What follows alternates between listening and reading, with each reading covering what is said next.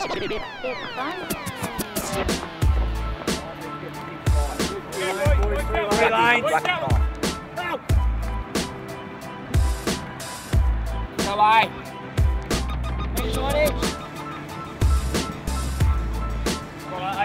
the green, same as what we did last week. He's off the back. We had four and four. Remember that? Everyone gets the footy, tries to get through. You've got to talk, communicate, all these things. This week, we'll just change that a little bit. Try and make it either threes, twos, or one.